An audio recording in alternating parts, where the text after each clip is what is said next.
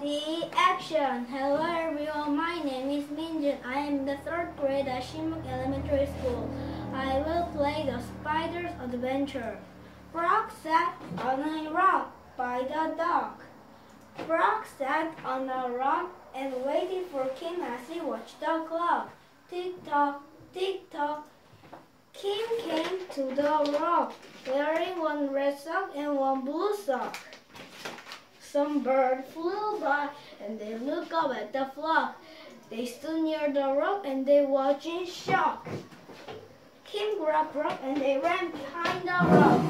At the sides of the birds, they were filled with fright, so they held each other tight.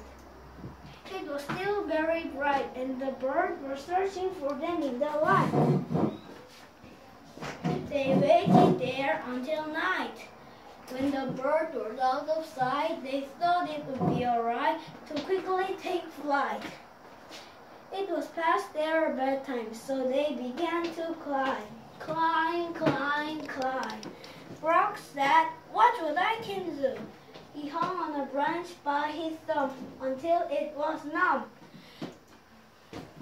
When they reached their web at that great height, it was such a sight. They were filled with delight, and they hugged with all their might. Frog turned off the light. He said, No more adventures. Good night.